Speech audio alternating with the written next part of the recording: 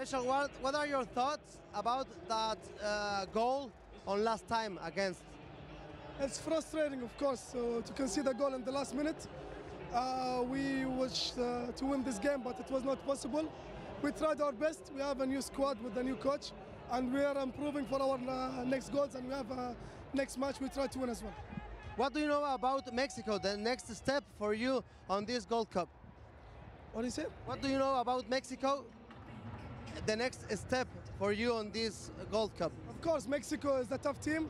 Uh, we've seen them play the last game. They played very good, and we will try to do our best to win that game. And the coach will give us the instructions.